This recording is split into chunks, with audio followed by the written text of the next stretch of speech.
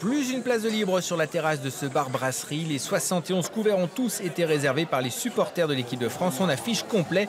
Maquillage, maillot de foot, drapeau, clients et serveurs sont prêts pour affronter l'Australie avec beaucoup de confiance quant à l'issue du match. 3-1. Qui marque? Griezmann, euh, Mbappé. Mbappé, Pogba. J'emmène mes enfants là où il y a de l'ambiance, c'est plus sympa. Mais voilà, les minutes défilent lors de la première mi-temps. Pas grand-chose à se mettre sous la dent à part les plats du restaurant. Les joueurs de Didier Deschamps déçoivent. Après 45 minutes, le score est nul, 0 partout. On s'attendait pas trop à ça, on va bien voir. On espère que ça sera pas mal après.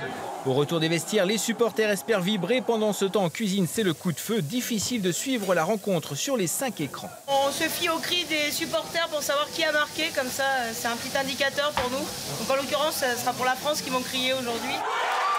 Justement, les premiers cris de joie se font entendre à la 58e minute quand la France obtient pénalty transformé par Griezmann. La terrasse exulte. Malgré le soleil, l'ambiance est vite refroidie avec l'égalisation sur pénalty de l'Australie. Heureusement, Paul Pogba libère le public. La France l'emporte. Inquiet sur la prestation, on va pas se mentir, euh, très inquiet, mais euh, rassuré du score. Voilà, ça nous fait 3 points pour, euh, pour le groupe, donc on espère après euh, qu'il gagne les deux prochains matchs. Prochain rendez-vous jeudi à 17h face au Pérou. Ce sera aussi le jour de la fête de la musique. La terrasse de ce bar est prête pour vivre une belle soirée.